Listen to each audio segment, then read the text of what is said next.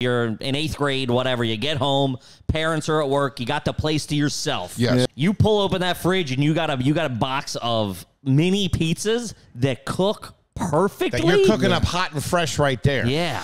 You do an oven or you do a microwave?